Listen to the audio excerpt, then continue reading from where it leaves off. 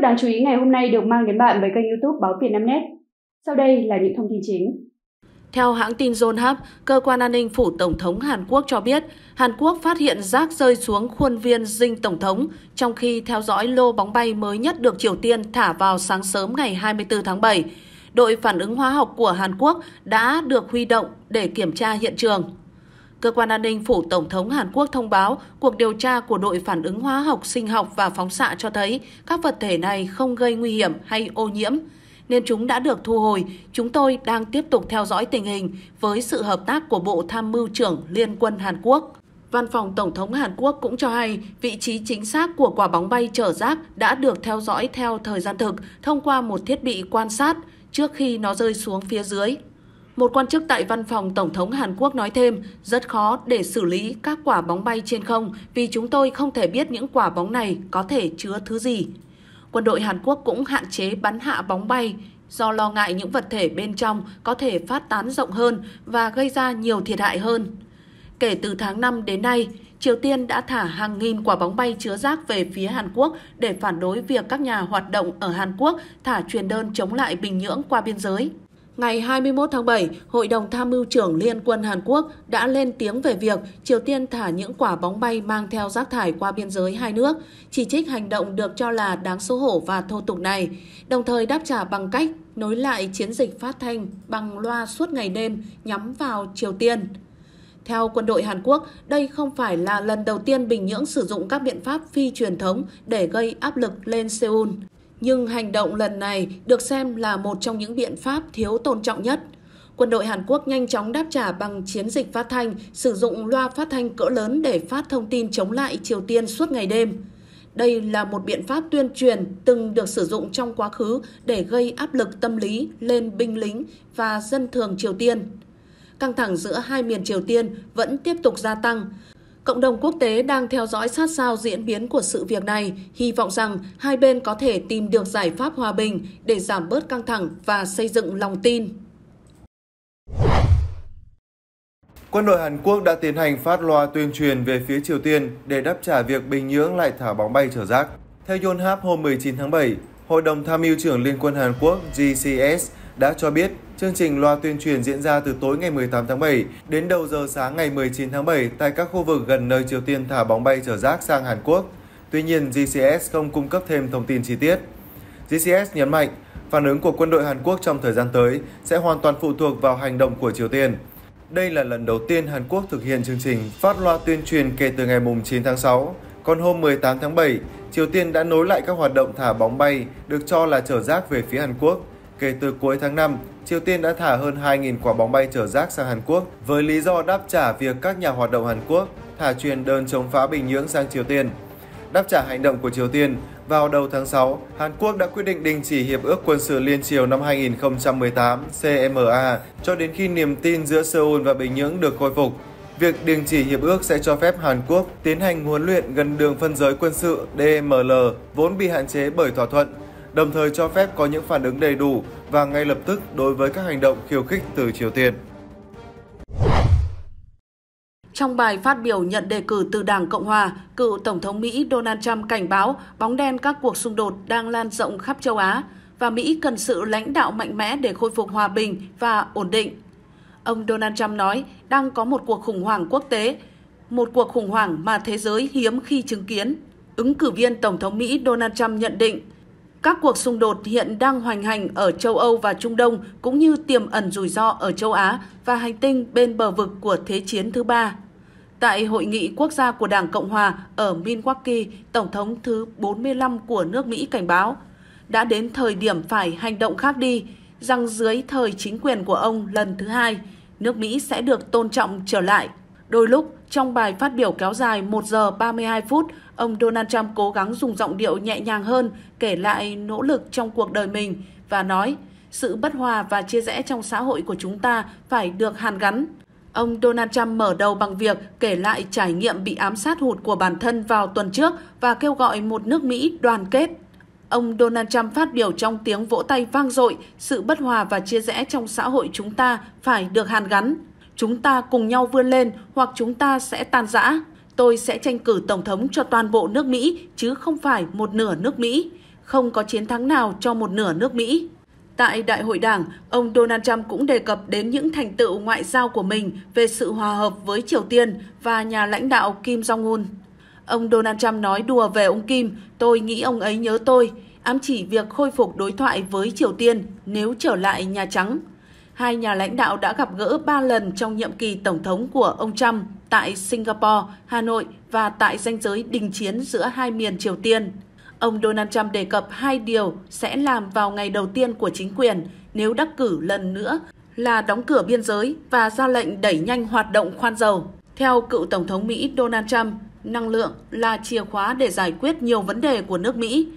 Bằng cách cắt giảm chi phí năng lượng, Mỹ sẽ giảm chi phí vận chuyển, sản xuất và tất cả các mặt hàng gia dụng. Đồng thời nhấn mạnh nước Mỹ có nhiều vàng lỏng dưới chân hơn bất kỳ quốc gia nào khác.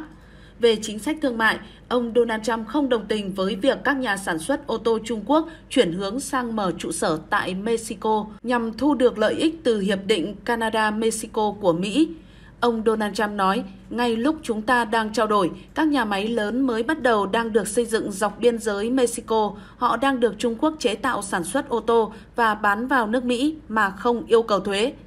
Cựu Tổng thống Mỹ Donald Trump khẳng định chúng tôi sẽ áp dụng mức thuế khoảng 100% đến 200% đối với mỗi ô tô và chúng sẽ không thể được tiêu thụ tại Mỹ. Cựu Tổng thống Mỹ Donald Trump cũng cam kết sẽ chấm dứt mọi cuộc khủng hoảng toàn cầu, bao gồm cả xung đột ở Ukraine và mang lại hòa bình cùng sự ổn định cho thế giới nếu được bầu làm Tổng thống Mỹ vào tháng 11 tới. Ông Donald Trump nói, dưới sự lãnh đạo của chúng tôi, Mỹ sẽ lại được tôn trọng. Không quốc gia kẻ thù nào nghi ngờ sức mạnh của chúng ta, biên giới của chúng ta sẽ an toàn tuyệt đối, nền kinh tế của chúng ta sẽ tăng vọt, chúng ta sẽ trả lại luật pháp và trật tự cho đường phố, lòng yêu nước trong các trường học và quan trọng là chúng ta sẽ khôi phục hòa bình, ổn định và hòa hợp trên toàn thế giới. Ngày 23 tháng 7, truyền thông nhà nước Triều Tiên đã chỉ trích Mỹ về cuộc bầu cử tổng thống của nước này và nghi ngờ về khả năng đối thoại giữa hai bên trong tương lai, bất chấp kết quả của cuộc bầu cử vào tháng 11. Bài viết không ghi tên tác giả đăng trên KCNA cho rằng căng thẳng giữa Đảng Dân Chủ và Đảng Cộng Hòa đang dối bời vì những đấu đá nội bộ. Bài viết cho rằng đối thoại mà mang theo âm mưu nham hiểm hay đối thoại như một sự mở rộng đối đầu thì ngay từ đầu không nên diễn ra. Bài viết cũng đề cập đến những phát biểu gần đây của cựu Tổng thống Mỹ Donald Trump về mối quan hệ của ông với nhà lãnh đạo Triều Tiên Kim Jong-un. Ông Trump nói tại Đại hội Toàn quốc của Đảng Cộng Hòa ở Milwaukee tuần trước rằng thật tuyệt khi được làm việc cùng với một người có nhiều vũ khí hạt nhân. Trong khi thừa nhận những nỗ lực của ông Trump nhằm xây dựng mối quan hệ giữa Triều Tiên và Mỹ trong nhiệm kỳ Tổng thống 2017-2021 của ông, bài viết cho rằng không có thay đổi tích cực đáng kể nào diễn ra từ đó. Mỹ và Hàn Quốc ngày càng cảnh giác với việc Nga và Triều Tiên tăng cường hợp tác quân sự, cáo buộc Bình Nhưỡng cung cấp vũ khí cho Moscow để sử dụng ở Ukraine. Nga và Triều Tiên phủ nhận cáo buộc trên.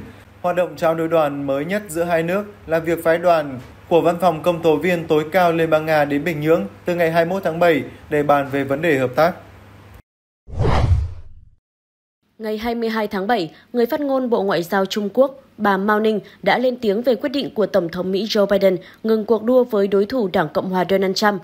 Phát biểu trong cuộc họp báo ở Bắc Kinh ngày 22 tháng 7, người phát ngôn Bộ Ngoại giao Trung Quốc Mao Ninh nhấn mạnh, Bầu cử Tổng thống Mỹ là vấn đề nội bộ của nước Mỹ và tôi không bình luận về vấn đề này. Trước đó vào chiều 21 tháng 7, theo giờ bờ đông nước Mỹ, dạng sáng ngày 22 tháng 7 theo giờ Việt Nam, Tổng thống Mỹ Joe Biden đã bất ngờ tuyên bố rút lui khỏi chiến dịch tái tranh cử Tổng thống năm 2024 đồng thời ủng hộ Phó Tổng thống bà Kamala Harris thay ông gánh vác trọng trách làm ứng cử viên của Đảng Dân Chủ ra đối đầu với ứng cử viên của Đảng Cộng Hòa, cựu Tổng thống Donald Trump. Nội dung bức thư của Tổng thống Biden đăng trên mạng xã hội X bày tỏ, Thưa các thành viên của Đảng Dân Chủ, tôi đã quyết định không chấp nhận đề cử và tập trung toàn bộ năng lượng vào nhiệm vụ của mình trên cương vị Tổng thống trong thời gian còn lại của nhiệm kỳ.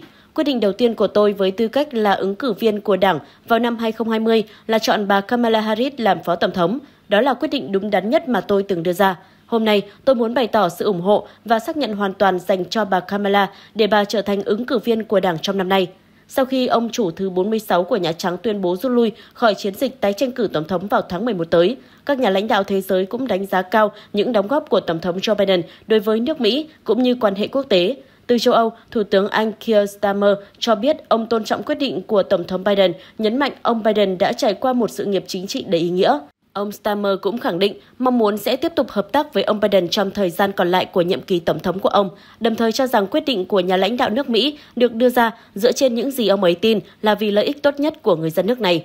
Cũng bày tỏ sự tôn trọng đối với quyết định của ông Biden, viết trên mạng xã hội X, Thủ tướng Đức Olaf Scholz ca ngợi thành tựu mà ông Biden đã đạt được đem lại lợi ích cho nước Mỹ, cho châu Âu cũng như thế giới. Thủ tướng Ba Lan Donald Tusk cũng đánh giá Tổng thống Biden đã đưa ra nhiều quyết định khó khăn giúp đảm bảo an toàn và an ninh cho Ba Lan, Mỹ và thế giới. Trong khi đó, Tổng thống Ukraine Zelensky cũng gửi lời cảm ơn đối với những bước đi mạnh mẽ nhằm ủng hộ Ukraine. Về phía Liên bang Nga, Điện Kremlin cho biết đang theo dõi các diễn biến sau khi Tổng thống Biden tuyên bố rút khỏi cuộc đua, đồng thời nhận định rất nhiều thứ có thể thay đổi trong giai đoạn hiện nay. Chia sẻ với báo giới, người phát ngôn Điện Kremlin Dmitry Peskov nhấn mạnh, cuộc bầu cử Tổng thống Mỹ vẫn còn 4 tháng ở phía trước, đó là một chặng đường dài, trong đó rất nhiều thứ có thể thay đổi. Chúng tôi cần chú ý, theo dõi những gì sẽ diễn ra và ảnh hưởng tới công việc của chúng tôi. Ở châu Mỹ, Thủ tướng Canada Justin Trudeau cũng nhấn mạnh ông Biden là một đối tác và là một người bạn thực sự đối với người dân Canada, đồng thời đánh giá cao thời gian phụng sự đất nước của ông Biden. Từ châu Đại Dương, Thủ tướng Australia Anthony Albanese khẳng định Tổng thống Biden đã giúp Liên minh Mỹ-Australia mạnh mẽ hơn bao giờ hết, với cam kết chung về an ninh quốc tế, thịnh vượng và hành động khí hậu vì thế hệ hiện nay và mai sau. Tại Trung Đông, Tổng thống Israel cảm ơn người đồng cấp Biden vì tình bạn và sự ủng hộ kiên định đối với người dân Israel. Nhà lãnh đạo miêu tả ông Biden là đồng minh thực sự của người Do Thái trong một bài đăng trên mạng xã hội X. Thông tin vừa rồi cũng đã khép lại bản tin của chúng tôi. Cảm ơn quý vị đã quan tâm theo dõi. Mời quý vị tiếp tục theo dõi những thông tin đáng chú ý khác trong các bản tin tiếp theo.